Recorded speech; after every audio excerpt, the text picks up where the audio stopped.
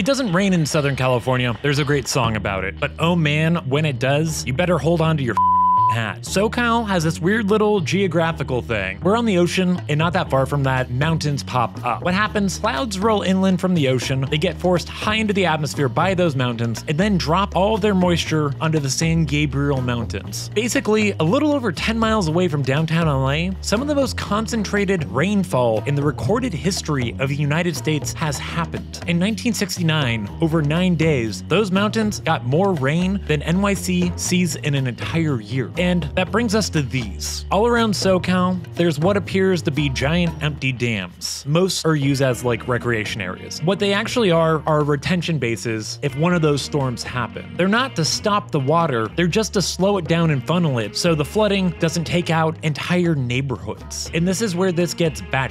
There's historical and geological evidence that every 100 to 150 years, there's a weather phenomenon called an ARkStorm. An ARkStorm is basically where it rains for 40 days straight with category 3 hurricane winds. And it's going to happen again. They predict that this next storm could cost the lives of 400,000 Californians. They also predict it can do 1 trillion dollars in damage. That's four times the amount of damage predicted by the big one earthquake that people are way more afraid of. And an ARkStorm already happened once. The 1861 ARkStorm killed over 4,000 people. And yes, if you can math, we're due for one. Congress this year even approved money to fix the Whittier Narrows Dam because engineers assessed that if an ARkStorm happened today, the dam would fail and flood 1 million people. So, there's that.